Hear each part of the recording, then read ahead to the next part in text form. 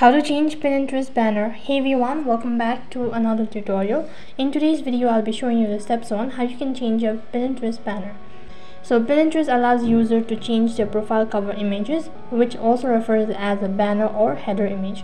However, keeping this in mind that platform may have undergone some changes since then, but it's always good to check your Pinterest account. So I'll be showing you the steps on how you can actually change your banner.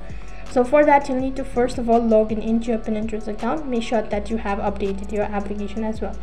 After that you need to head over to your profile page. So for that click on the profile icon located in the bottom right corner. This is going to take you to the profile page. Once you're on this page click on edit profile which is under your username.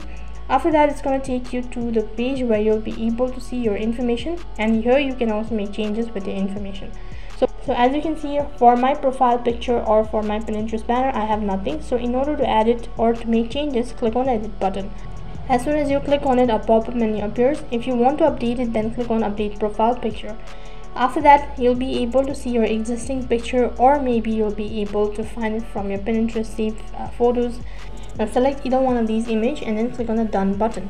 Now arrange the size and all that and as you can see that the profile picture has been changed. So click on the done button located right on top. So that is basically how you can change your pinterest banner. That is all for this video. I hope the video was helpful. Make sure to like share and subscribe to our channel. Also make sure to comment down below for any further queries. Thank you for watching. See you in the next video